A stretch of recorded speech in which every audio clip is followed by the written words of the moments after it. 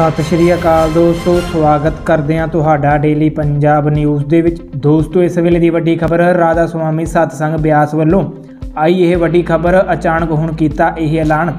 ਦੋਸਤੋ, ਇਸ ਵੇਲੇ ਦੀ ਵੱਡੀ ਖਬਰ ਆ, ਸੋ ਖਬਰ ਨੂੰ ਸ਼ੁਰੂ ਤੋਂ ਲੈ ਕੇ ਆਖਿਰ ਤੱਕ ਜਰੂਰ ਦੇਖਣਾ। ਤੁਹਾਨੂੰ ਪੂਰੀ ਖਬਰ ਬਾਰੇ ਪਤਾ ਚੱਲ ਜਾਵੇਗਾ। ਉਸ ਤੋਂ ਪਹਿਲਾਂ ਦੋਸਤੋ, ਇੱਕ ਛੋਟੀ ਜਿਹੀ ਬੇਨਤੀ ਆ, ਸਾਡੀ ਵੀਡੀਓ ਨੂੰ ਲਾਈਕ ਸ਼ੇਅਰ ਅਤੇ ਚੈਨਲ ਨੂੰ ਸਬਸਕ੍ਰਾਈਬ ਕਰਨਾ ਵੀ ਨਾ ਭੁੱਲਣਾ।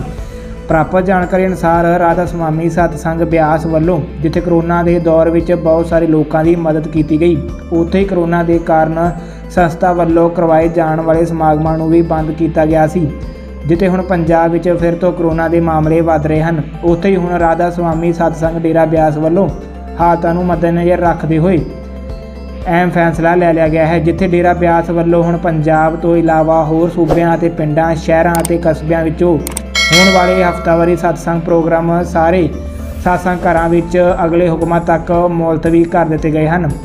ਉਥੇ ਲੋਕਾਂ ਨੂੰ ਕਰੋਨਾ ਸੰਬੰਧੀ ਲਾਗੂ ਕੀਤੀਆਂ ਗਈਆਂ ਪਾਬੰਦੀਆਂ ਦੀ ਪਾਲਣਾ ਕਰਨ ਦੇ ਆਦੇਸ਼ ਵੀ ਦਿੱਤੇ ਗਏ ਹਨ। ਤਾਂ ਜੋ ਇਸ ਕਰੋਨਾ ਦੇ ਵਾਅਦੇ ਨੂੰ ਰੋਕਿਆ ਜਾ ਸਕੇ।